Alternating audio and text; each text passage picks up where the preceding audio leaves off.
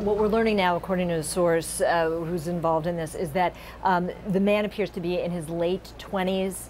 It the appears the, the, man, the, the alleged gunman, appears to be in his late 20s.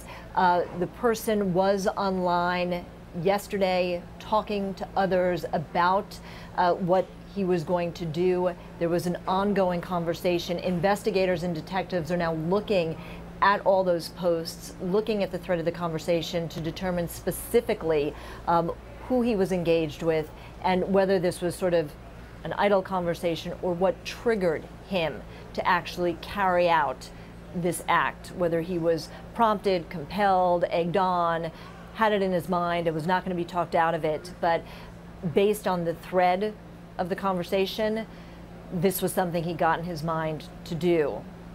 And he was having a conversation about it online with others. So, and right now it does not appear that there is any link to terrorism, international terrorism. Clearly, one can define this or describe it as a domestic terrorism, but this is not international terrorism as we've seen recently.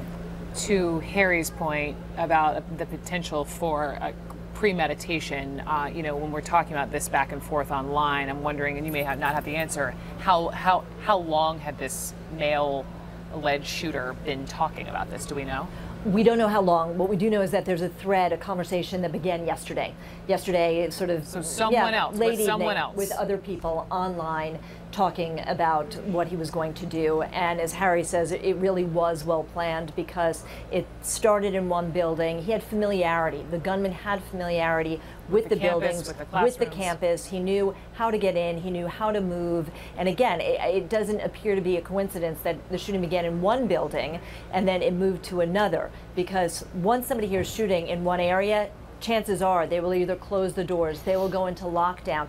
That gives a gunman, a shooter, access, right. complete unrestricted access to a second building where they don't know what's going on just yet. So there's an element of surprise. Maybe not in the first building once the shooting starts, but in the second building, certainly there is that element of what's going on now. Um, that's all in play.